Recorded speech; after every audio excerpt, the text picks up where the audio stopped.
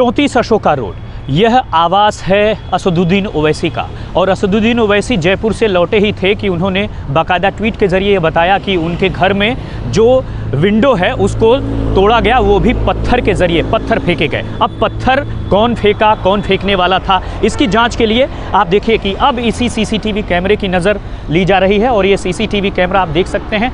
बाकायदा इसके ज़रिए जो भी आया था, ये साफ़ तौर पर पुलिस जाँच कर रही है और ये देखिए कि जो पुलिसकर्मी हैं, वो रात से ही यहाँ पर डटे हुए हैं और साफ़ तौर पर अब जाँच की जा रही है कि आखिर हाई सिक्योरिटी जोन में इस तरह के हमले का क्या सबब था, किसने किया, क्यों किया और सबसे खास बात यही है कि असदुद्दीन ओवैसी ने कहा है, ये पहली बार नहीं हुआ।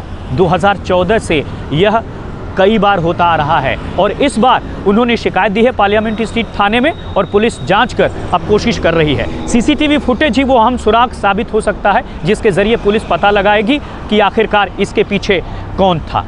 राम किंकर सिंह, अशोका रोड, आज तक।